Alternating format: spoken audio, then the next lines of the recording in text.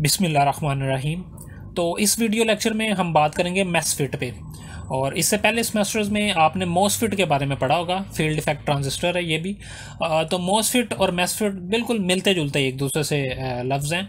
तो मोसफिट क्या है? MOSFET metal oxide semiconductor field effect transistor होता है। और मैसफिट क्या है? MESFET MESFET metal semiconductor field effect transistor है तो इसमें एक वर्ड सिर्फ़ मिसिंग है ऑक्साइड का। तो सिंपल है कि मॉसफिट में मेटल ऑक्साइड यूज़ किया जाता है और जो मैसफिट है, इसके अंदर मेटल प्योर मेटल यूज़ किया जाता है, जो कि सेमीकंडक्टर के साथ जब हम जंक्शन इसका बनाते हैं। तो ये भी तीन तीन टर्मिनल होते हैं। इस डिवाइस के भी गेट सोर्स और ड्रेन उन्हें बोलते हैं। जैसे कि आम फ़ील्ड इफ़ेक्ट ट्रांजिस्टर में हम बोलते हैं गेट सोर्स और ड्रेन और इसके अंदर इसका जो वोल्टेज करंट करेक्टरिस्टिक है वो बिल्कुल मोसफिट जैसा ही है। तो अभी जब हम वर्किंग देखेंगे इसकी तो बिल्कुल सिंपल इसकी वर्किंग मोसफिट जैसी ही होगी। और इस, इसके, इसमें जो डिफरेंस है, जो मॉसफिट और मैसफिट में जो डिफरेंस है, वो ये है कि सोर्स और ड्रेन जो कॉन्टेक्ट हैं, ये ओहमिक हैं। मैसफिट में सोर्स और ड्रेन जो कॉन्टेक्ट हैं वो ओहमिक हैं जबकि मॉसफिट के अंदर ये पीएन जंक्शन पर मुश्तमिल होते हैं। अच्छा ओहमिक और नॉन ओहमिक से, के ऊपर थोड़ी सी बात कर लेते हैं। ऐसे जंक्शन जिनके दरमियान में रेजिस्टेंस ना हो, कोई भी पोटेंशियल बैरियर ना हो उन उन जंक्शन को बोलते हैं हम ओहमिक तो यहाँ पे बेसिक वही कंसेप्ट है कि जो ड्रेन और सोर्स का जो जंक्शन होगा, उनके दरमियान में कोई रेजिस्टेंस नहीं होगी, कोई पोटेंशियल बैरियर नहीं होगा और इजीली जो करंट जो है उसके दरमियान में फ़्लो करेगा। तो ये बेसिक ओहमिक का यहाँ पे कंसेप्ट है। तो जिस तरह से बाकी फ़ील्ड इफ़ेक्ट ट्रांजिस्टर जो है नेगेटिव कॉफिशेंट डिवाइसेस हैं, ये भी नेगेटिव कॉफिशेंट डिवाइसेस हैं। हाई करंट पे हाई करंट पे जैसे जैसे टेम्परेचर बढ़ता है, इसकी रेजिस्टेंस बढ़ती जाती है। It is made of compound semiconductor with high electron mobilities such as gallium arsenide and indium phosphide. तो ये ऐसे कंपाउंड्स सेमीकंडक्टर से बनाए जाते हैं uh, जिनकी इलेक्ट्रॉन मोबिलिटीज़ बहुत ज़्यादा हों। और ऐसे मटेरियल्स गैलियम आर्सेनाइड और इंडियम फास्फाइड तो इन मटेरियल से आमतौर पर ये बनाया जाता है। It has high switching speed तो इन मटेरियल्स की वजह से इसकी स्विचिंग स्पीड जो है वो बहुत ज़्यादा हो जाती है और इसकी कट ऑफ़ फ्रीक्वेंसी भी बहुत ज़्यादा हो जाती है। तो कट ऑफ़ फ्रीक्वेंसी बेसिक वो फ्रीक्वेंसी है जिस फ्रीक्वेंसी पे इसकी गेन जो है वो थ्री डीबी रह जाए हमारे पास। तो मीन्स कि इसकी फ्रीक्वेंसी बहुत ज़्यादा होती है बहुत ज़्यादा फ्रीक्वेंसी तक ये ऑपरेट कर सकता है। आ, तो ये इसकी थ्री इसकी जो कट ऑफ़ फ्रीक्वेंसी है वो भी बहुत ज़्यादा होती है। तो ये बेसिक इसका फॉर्मल इंट्रोडक्शन था थोड़ा सा। अब आगे बात करते हैं इसके सिंबल पे। इसका सिंबल कैसा होता है? तो ये एक सिंबल आप इसको देख रहे हैं, यहाँ पे एक एरो का निशान इनवर्ड है, और ये एक मोटी सी लेयर आपको यहाँ पे नज़र आ रही है सोर्स और ड्रेन और गेट ये तीन टर्मिनल नज़र आ रहे हैं। ये हमारे पास है N channel depletion mode field effect MESFET और यहाँ पे आप देखेंगे कि यहाँ पे ये जो एक थोड़ी सी लाइन जो थी, यहाँ पे ये मोटी थी और ये थोड़ी सी बारीक है। तो ये इस इसको बोलते हैं इन्हेंसमेंट मोड एंड चैनल जो है मेसफिट तो ये ये दोनों जो सिंबल हैं ये एन चैनल के लिए हमारे पास हैं। जिस तरह से आ, बाकी फ़ील्ड इफ़ेक्ट ट्रांजिस्टर में भी हमने देखा है कि फ़ील्ड इफ़ेक्ट ट्रांजिस्टर दो टाइप के होते हैं। एक एन चैनल और एक पी चैनल तो ये दोनों जो सिंबल हैं ये एन चैनल के लिए हैं। ये डिप्लेशन मोड है और ये इन्हेंसमेंट मोड के लिए है। और डिप्लेशन मोड और इन्हेंसमेंट मोड क्या होता है? डिप्लेशन मोड बेसिक वो ट्रांजिस्टर होता है जिसमें हम गेट पे कोई भी वोल्टेज प्रोवाइड ना करें। सिंपल उसे ग्राउंड कर दें तो वो ऑन हो। वो वो उस उस जो कंडीशन में सोर्स और ड्रेन के दरमियान में करंट फ्लो कर सके तो उसको बोलते हैं डिप्लीशन मोड इन्हेंसमेंट मोड में क्या होता है कि आमतौर पे ट्रांजिस्टर ऑफ़ होता है। जब हम गेट पे कोई भी वोल्टेज अप्लाई नहीं करते तो गे, जो तो जो ट्रांजिस्टर वो ऑफ़ होता है। और जैसे ही हम वोल्टेज प्रोवाइड करते हैं गेट पे तो फिर करंट फ्लो करना शुरू करता है ड्रेन से सोर्स या सोर्स से ड्रेन की तरफ़। तो ये दोनों इसके सिंबल हैं। डिप्लेशन मोड के और इन्हेंसमेंट मोड के। तो ये एन चैनल के लिए है। अगर पी चैनल के लिए आप ये ड्रॉ कर, करें तो ये जो हमारे पास इसका जो एरो का साइन है ये बाहर की तरफ़, दूसरे गेट की तरफ़ होगा।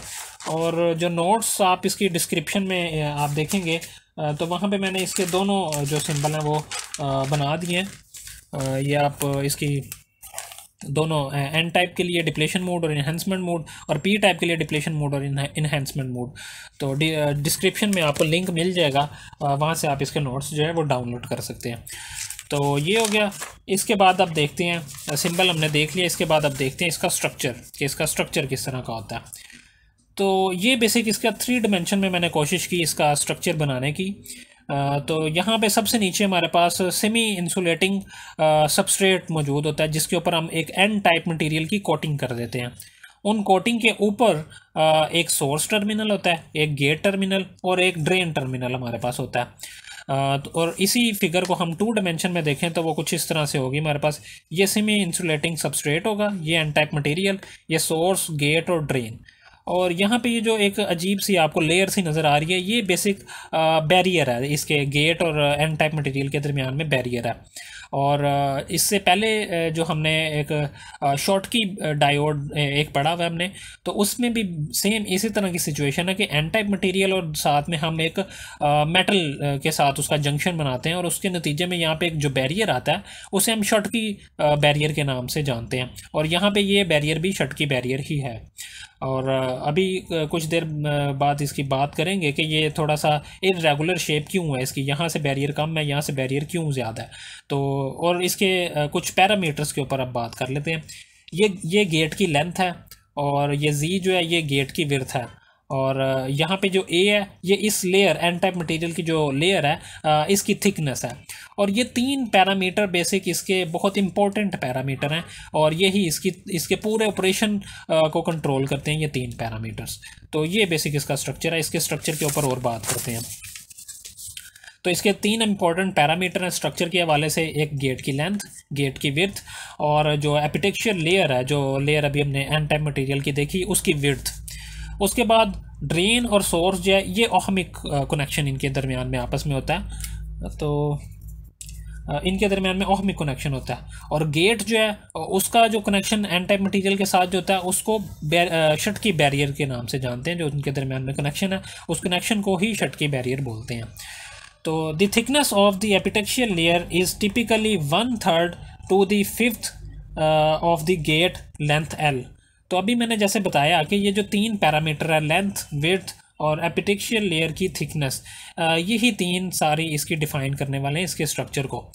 तो जो लेयर है, उसकी थिकनेस वन थर्ड से वन फिफ्थ के दरमियान में रखी जाती है इसके गेट की लेंथ के। उसके बाद the spacing between electrodes is one to four time that of gate length तो जो ये जो इनके दरमियान में जो गैप है जो इन टर्मिनल्स के दरमियान में गैप है ये एक से चार गुना के दरमियान में जो है ये रखा जाता है गेट लेंथ के। जो जो गेट लेंथ है, उसे एक एक से चार गुना के दरमियान में, इसके दरमियान में स्पेसिंग रखी जाती है।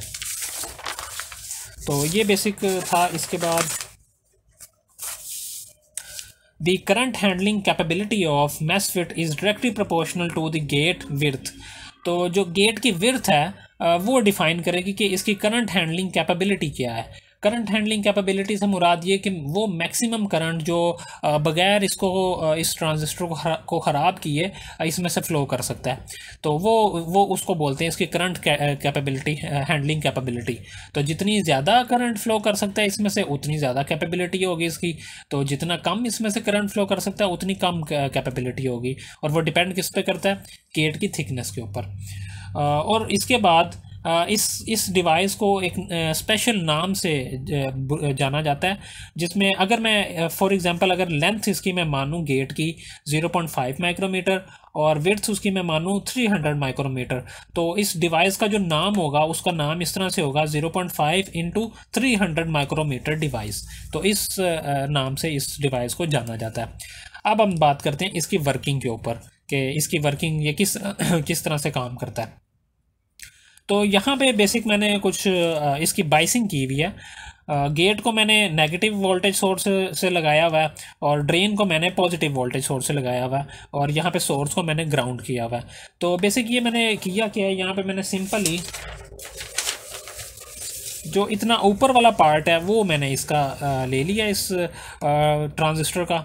तो यहाँ से आप देख सकते हैं इसको। ये मैंने इसको नेगेटिव वोल्टेज लगाया, यहाँ पे यहाँ पे पॉजिटिव वोल्टेज सप्लाई मैंने लगाई और यहाँ पे मैंने इसको ग्राउंड कर दिया। तो यहाँ से आप देखें आप तो ये हमारे पास एन टाइप लेयर है और ये हमारे पास गेट है। तो ये बेसिक क्या होगा? एन टाइप लेयर के साथ पॉजिटिव टर्मिनल एक बैटरी का मिला हुआ है। तो ये जो गेट और एन टाइप लेयर है, ये रिवर्स बायस हो जाएगी।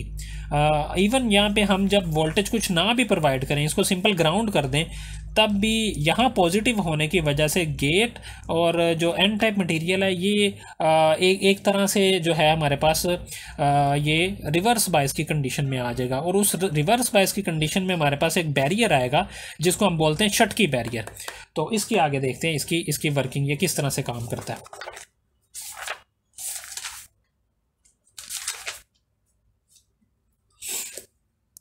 तो अब इसकी देखते हैं वर्किंग ये बेसिक सिंपल वही जो डायग्राम मैंने अभी पहले बनाई थी, ये सिंपल वैसी ही डायग्राम है। अगर मैं गेट के वोल्टेज रखूँ ज़ीरो और ड्रेन के वोल्टेज कुछ ना कुछ बढ़ाऊं तो क्या होगा? गेट और जो ड्रेन और सोर्स के दरमियान में हमने अभी बात की थी कि ड्रेन और सोर्स के जो कनेक्शन है, ये ऑहमिक है।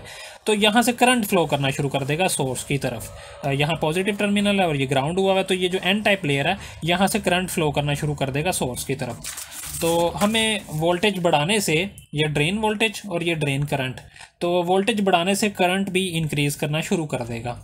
लेकिन चूँकि वोल्टेज यहाँ पे पॉजिटिव और यहाँ पे अगर ग्राउंड है तो ये रिवर्स बाइस हुआ हुआ है। तो वोल्टेज बढ़ाने से यहाँ पे क्या होगा, यहाँ पे जो रिवर्स बाइस बैरियर है, वो बहुत ज़्यादा होता जाएगा। जैसे जैसे वोल्टेज बढ़ाएँगे, वैसे ये रिवर्स बाइस ज़्यादा होता जाएगा।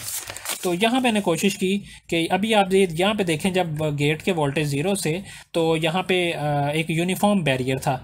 लेकिन जैसे ड्रेन के वोल्टेज बढ़ाने शुरू किए हमने तो यहाँ पे बैरियर की थिकनेस ज़्यादा होनी शुरू हो गई क्योंकि इधर से वोल्टेज, यहाँ पे ड्रेन वोल्टेज है, यहाँ पे ये ग्राउंड है। तो यहाँ पे सोर्स वोल्टेज, क्योंकि ये ग्राउंड ही है तो इस पे, यहाँ पे इस साइड पे कोई फ़र्क नहीं पड़ेगा। यहाँ पे जो बैरियर की थिकनेस है, वो ज़्यादा होनी शुरू हो गई। और उससे क्या होगा? वोल्टेज बढ़ाने से करंट इंक्रीज़ तो करेगा, लेकिन वो इंक्रीज़ करना करना बहुत ही कम होगा। क्योंकि यहाँ पे बैरियर की भी तो थिकनेस ज़्यादा होती जा रही है।